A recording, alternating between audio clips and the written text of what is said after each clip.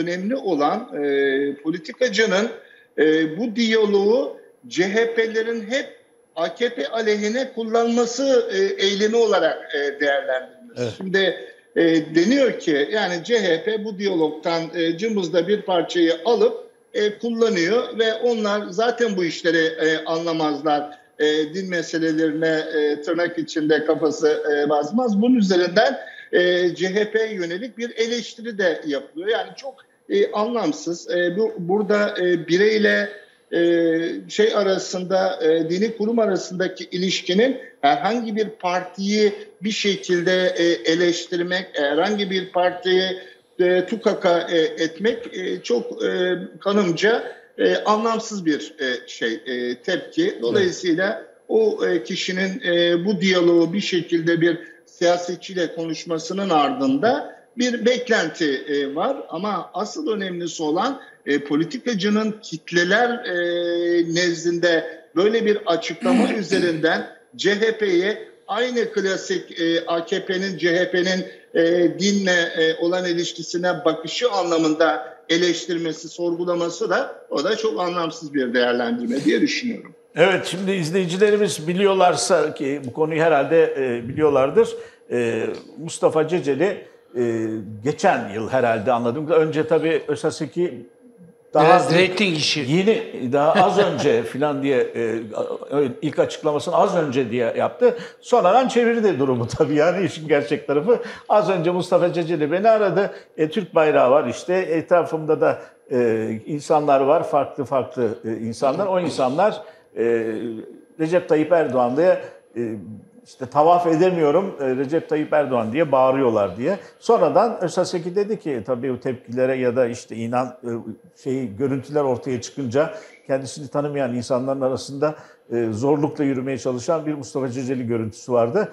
Onun üzerine Ösaseki açıklama yaptı. Az önce sizin söylediğiniz gibi CHP'lileri suçlayarak Tanju Bey'in de söylediği gibi Sonuçta da e, bunun daha önce yapıldığına yönelik bir açıklama yaptı. Şimdi ne diyorsun Veysel? Ya bununla ilgili birkaç zaviyeden bakmak lazım konuya. Bir tanesi bu ibadeti sizin neden yaptığınız.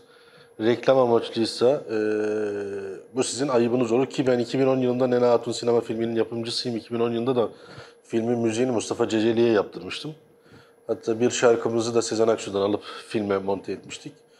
O işin e, resmi ve e, prosedür kısmı profesyonel manada. Ama siz ibadeti eğer Allah rızası için ve hakikaten dahacı olmak için yapıyorsanız bu tip tezahürlerin, bu tip paylaşımların, bu tip video paylaşımlarının hatta telefonla işte ben buradayım Sayın Bakanım, ben işte bu kadar kişi var etrafımda şöyle şöyle dua ediyorlar gibi özde samimiyetten uzak e, teşbihte de yalakalık içeren cümleler sarf etmek.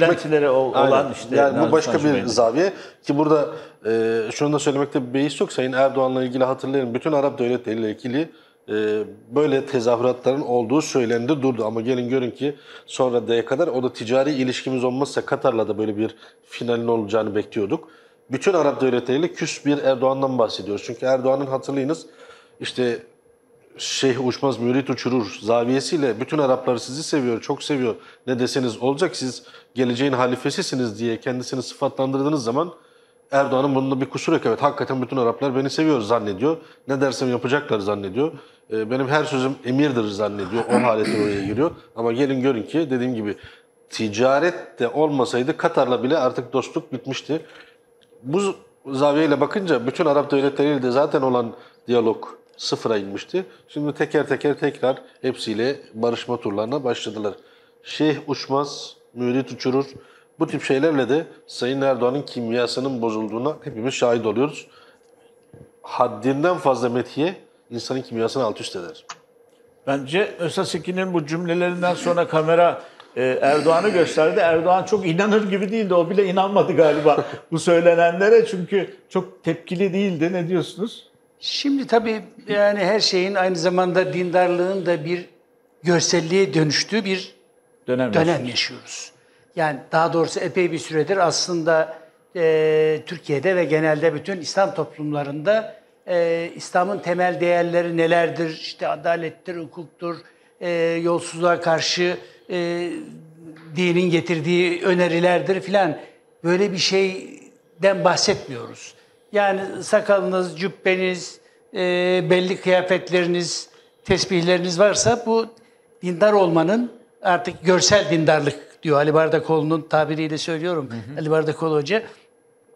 Görsel bir dindarlığın hakim olduğu ve herkesin dindarlığın da dinin de bu ritüeller üzerinden değerlendirildiği bir e, anlayış penceresinden baktığımızda aslında e, bu bölgelerde Suudi Arabistan'da ya da işte haç e, zemininde insanların e, işte Türkiye'ye çok ilgi gösterdikleri bayrakla ilgili bir defa işin o tarafı bir e, bana göre reyting kokan bir şey. Hem Mustafa Ceceli açısından hem de AK Parti açısından.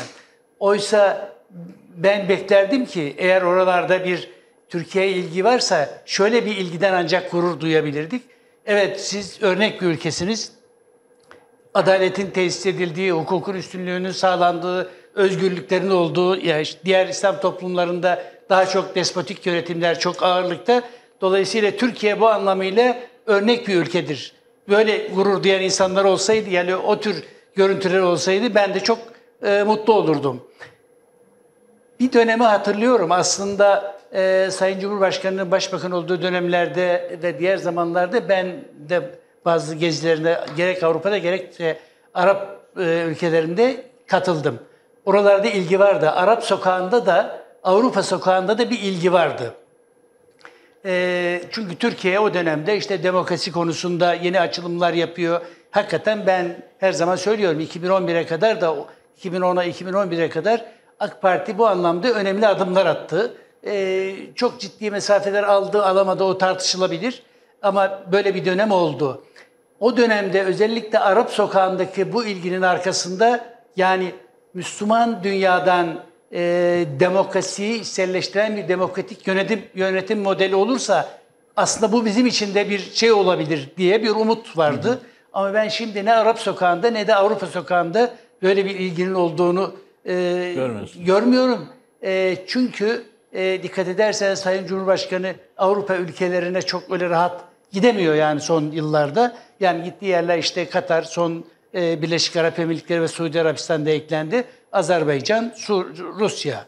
Şimdi e, çünkü o e, Avrupa sokağındaki insanlar artık Türkiye'ye başka bir gözle bakıyorlar. Yani daha doğrusu doğrudan Türkiye demeyelim ama şu anda Türkiye'de e, uygulanan yönetim sisteminin Türkiye'nin hukuk konusunda, demokrasi açığı konusunda, özgürlüklerle ilgili açık konusundaki şeylerimiz biz zaten e, bütün dünyaya e, çok net bir şekilde sunuyoruz. Hı hı. Dolayısıyla e, bu tabloda insanların bize yani normal bir e, demokratik ülke muamelesi yapması da zaten beklenemez. O yüzden oralardan e, böyle bir ilginin olduğunu sanmıyorum.